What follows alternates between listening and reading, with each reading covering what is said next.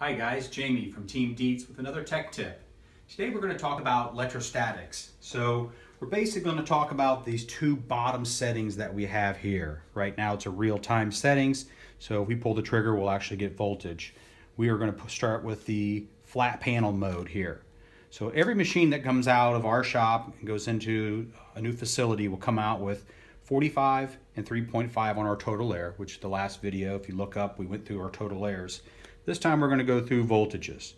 So starting on flat panel, 100 and 100. This is the maximum this machine can put out. So there's zero limitation on this machine.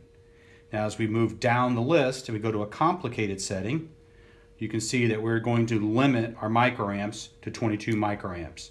This is non-adjustable. You cannot turn it up, you cannot turn it down. These are very good set points and starting points for complicated settings. So if you have an extremely complicated part, we program in a program, program one,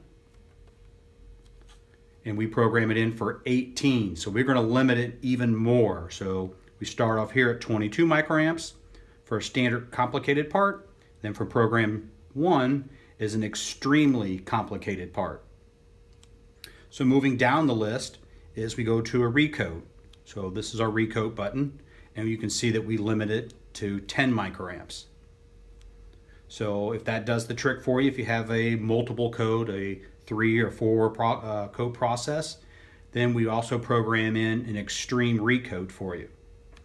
So go to program two, and we're going to limit it to 3.5 microamps. And you can see here, we'll the, the screen start to turn red and we go to PCC mode, which is a precision constant current mode, and we're going to limit to 3.5.